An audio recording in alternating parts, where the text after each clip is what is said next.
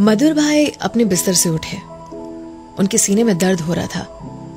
अपने घर के बैठक वाले रूम में नज़र डाली तो देखा पूरा परिवार अपने मोबाइल में मशगूल था। सभी के सर नीचे की ओर झुके हुए थे। उन्होंने अपनी पत्नी को आवाज़ लगाई और कहा कि सुनो, सीने में दर्द हो रहा है, मैं डॉक्टर को दिखा कर आता हूँ। पत्नी ने भी अपना सर उसी तरफ़ रखा और कहा, ठीक है, ध्यान से जाना, संभल के जाना और कोई ज़रूरत हो तो कॉल कर देना। मधुर भाई टू व्हीलर की चाबी लेके पार्किंग की ओर चले और टू व्हीलर चालू ही नहीं हो रहा था। इतने में उनके घर में काम करने वाला रमेश, वो आया, साइकिल को पार्क करते हुए स्टैंड पे चढ़ा ही रहा था कि उसने मधुर भाई की ओर देखा और कहा, साहब, आप पसीने से तरबतर लग रहे हो, आपकी तबीयत ठीक नहीं लग रही।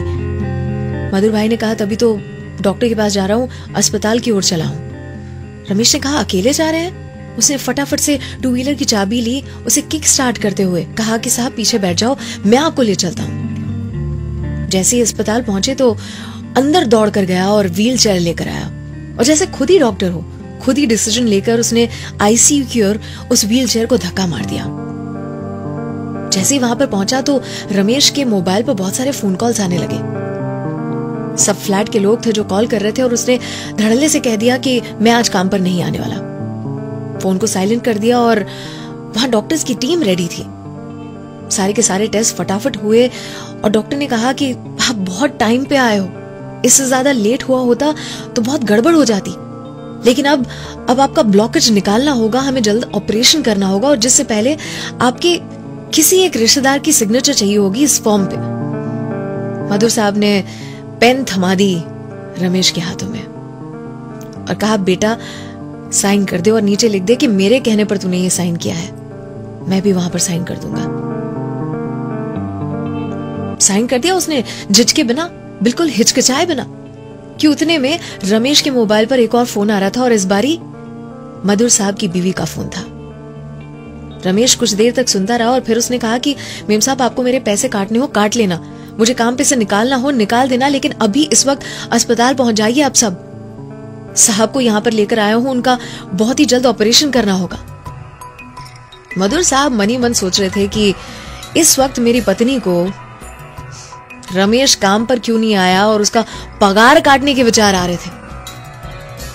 मधुर साहब का ऑपरेशन हो चुका था और उसके बाद उसके बाद की वो मोमेंट थी, जब वो अस्पताल के रूम में अपने बिस्तर पर लेटे हुए थे और जैसी उनकी आँखें खुली, पूरा परिवार, उनका पूरा परिवार अपना सर झुकाए हुए शर्म के साथ वहीं पर खड़ा हुआ था। मधुर साहब ने आँख खोलते ही कहा कि मुझे रमेश से मिलना है। उस मेरे बेटे के बिना मेरा जी पाना असंभव था। एक मोबाइल फ़ोन जो हमें, हमारे अपनों से कितना दूर लिया जा रहा है और हमें विचार भी नहीं आता। तलाश है एक दर्जी की, तलाश है एक दर्जी की जो उधड़े हुए रिश्तों की सफ़ाई से सलाई कर दे, जो गलत फहमी के छेदों को सफ़ाई से रफू कर दे। ये कहानियां जो आपको पसंद आती है रोज सुबह मेरे साथ 94.3 माई एफएम पर सुबह सात बजे मुझे आपका इंतजार रहेगा સલામ દુઆ વણકમ પ્રણામ સત શ્રી અકાલ કેમ છો સારું છે અમદાવાદ આખું મારું છે अर्चना की ओर से